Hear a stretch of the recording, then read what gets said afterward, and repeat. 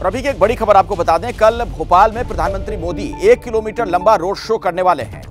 ये road show ऐसे इलाके में रखा गया है जहाँ से पुराने और नए भोपाल के वोटरों को साधा जा सके। 20 दिनों में प्रधानमंत्री मोदी का पांचवा एमपी दौरा होगा। इससे पहले मोदी ने 7 अप्रैल को जबलपुर में भी रोड शो किया था। जैसे ही घड़ी का काटा दोपहर ढाई पे आए, बबीता जी का दिल सास बहू साजिश के लिए मचल जाए। और ये है इनकी बहू।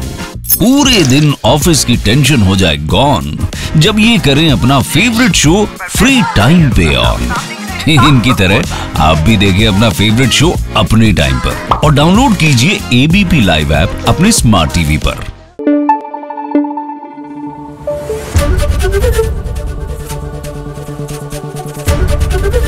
ABP news.